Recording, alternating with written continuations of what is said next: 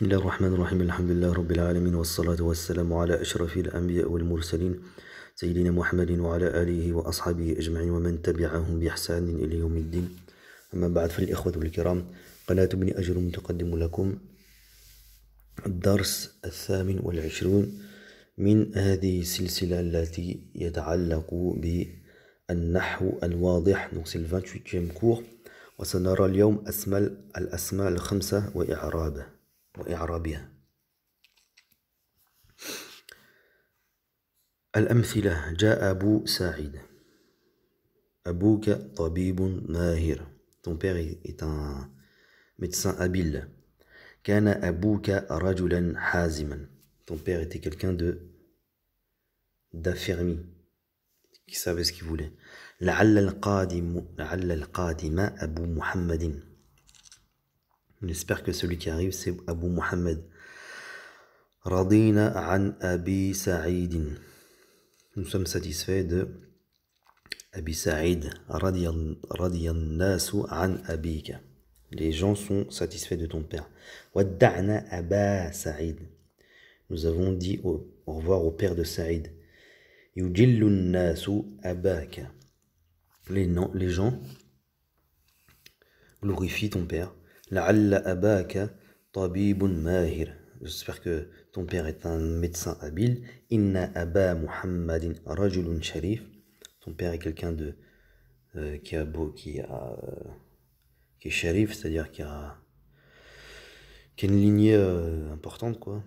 Yathiqun nasu bi abika. Donc les gens ont confiance par rapport à ton père, font confiance à ton père. Yashkurun nasu li abi Muhammadin les gens euh, remercient le père de Mohammed.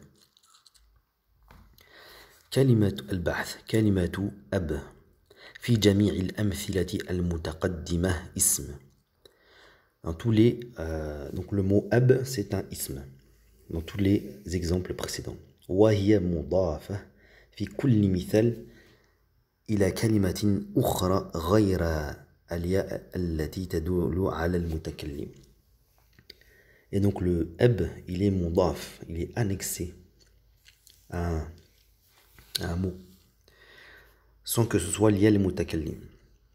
Car nous verrons dans ce, cas-là que le ab ne fait pas partie de la amsal de asma al-khamsa lorsqu'il est mudaf liya al-mutakallim. Là on voit qu'il est mudaf abouka, abouka, aba, sa'id, etc.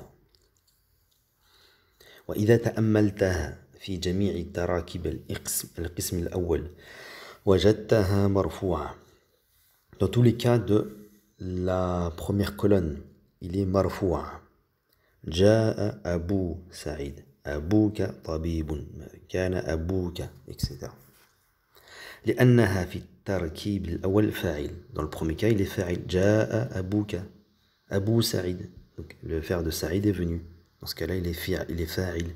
وفي الثاني مبتدا أبوك طبيب ماهر donc أبوك c'est c'est مبتدا طبيب ماهر c'est le خبر وفي الثالث اسم كان كان أبوك رجلا حازما ton père était quelqu'un de qui savait ce qu'il voulait donc كان أبوك donc c'est اسم كان donc dans ce cas-là il est aussi مرفوع وفي الرابع خبر لعل en espérant que لعل القادم أبو محمد. أبو سي لو خبر لعل. إن espérant كو سولي qui arrive c'est Abu Muhammad. وإذا تأملتها في القسم الثاني وجدتها منصوبة في جميع التراكيب. دون le dans دوزيام كولوم ودعنا أبا سعيد. أبا أبا توجور إلي منصوب. Pourquoi? لأنها مفعول به في التركبين الأولين الأولين الأولين. Dans les deux premiers cas, il est مفعول به. ودعنا أبا سعيد nous avons dit au revoir à يجل الناس أباك. Donc dans ces deux cas-là il est مفعول به. واسم لعل. وإن في التركيبين الآخرين. Et dans le deuxième cas لعل أباك. إن أبا dans ces deux-là, ils sont ismu inna wa ismu la'alla.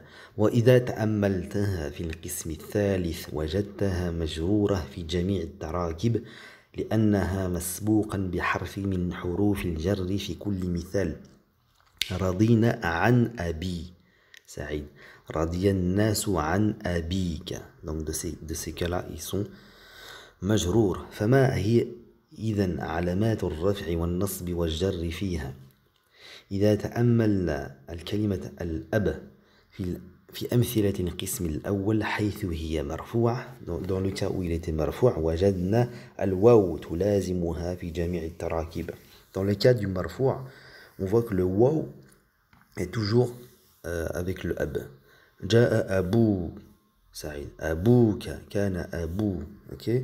donc dans ce cas là ça va dire que c'est c'est le signe رفع okay. وإذا تأملنا في آه، في أمثلة القسم الثاني حيث هي منصوبة وجدنا الألف تلازمها أيضا في جميع التراكيب Et dans le cas du, du nasb, on voit que le alif, on voit que le, le signe du, du nasb, c'est bien alif. Wadda'na aba sa'id, yajillu nasu abaka, la'alla abaka tabib, etc.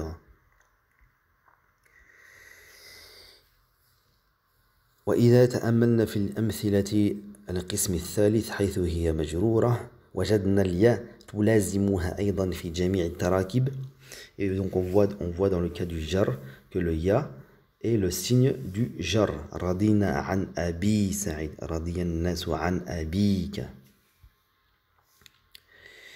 والياء هي علامة جرها هذا وهناك أربعة أسماء أخرى Il y a donc quatre autre type de nom qui rentre dans le même moule, le même, les mêmes, qui a, qui, donc qui a les mêmes règles.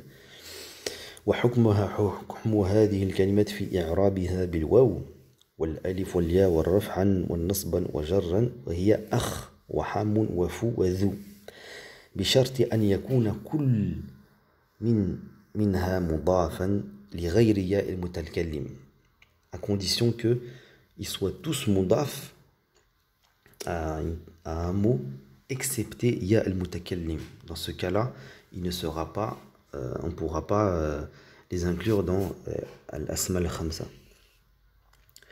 فتقول هذا أخوك ورأيت أخاك ورضيت عن أخيك وهكذا تسمى هذه بالأسماء الخمسة donc c'est ça qu'on appelle الأسماء الخمسة الأسماء الخمسة هي أب وأخو وحم وفو وذو الأسماء الخمسة ترفع بالواو وتنصب بالألف وتجر بالياء ويشترط في إعرابها هذا الإعراب أن تكون مضافة لغير ياء المتكلم.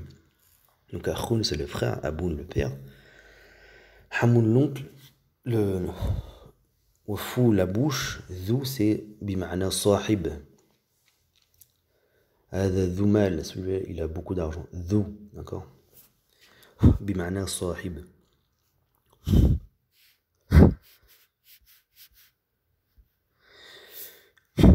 أبو donc là on va dire des exemples d' إعراب أبو فريد رجل فاضل. donc أبو مبتدأ مرفوع وعلامة الرفع الواو لأنه من أسماء الخمسة. فريد مضاف إليه مجرور وعلامة جره الكسرة رجل خبر مرفوع وعلامة رفعه الضمة فاضل نعت مرفوع وعلامة رفعه الضمة Donc le père de Farid, de Farid était quelqu'un de Fadil, hein, quelqu'un d'important. Layta akha salih muqbilun. En espérant que ton frère Salih arrive. Donc layta harfu tamanni, hein, l'espérance. Wa nasr. Pourquoi nasr Parce qu'il va influer sur le khabar et mubtada. مبني على الفتح أخا اسم ليت منصوب وعلامة نصبها الألف لأنه من أسماء الخمسة صالح مضاف إليه مجرور وعلامة جرها الكسرة مقبل خبر ليت مرفوع وعلامة الرفع الضمة يحب الناس كل ذي مروءة Donc les gens aiment tous ceux qui sont euh, qui ont la caractéristique de, de des hommes, quoi, des, euh, des gens bien. يحب فعل مضارع مرفوع وعلامة الرفيع الضمة. الناس فاعل مرفوع وعلامة الرفيع الضمة. كل مفعول به منصوب وعلامة نصبه الفتحة. ذي مضاف إليه مجرور. كل ذي donc le ذو il est مضاف إليه. Donc وعلامة جر الياء ذي لأنه من أسماء الخمسة c'est ذو vu qu'il مضاف إليه كل ذي. مضاف مروءة مضاف إليه مجرور وعلامة جره الكسرة نكتفي بهذا القدر وإلى درس آخر إن شاء الله. سبحانك اللهم وبحمدك أشهد أن لا إله إلا أنت أستغفرك وأتوب إليك. سبحان ربك رب العزة عما يصفون وسلام على المرسلين والحمد لله رب العالمين. والسلام عليكم ورحمة الله تعالى وبركاته.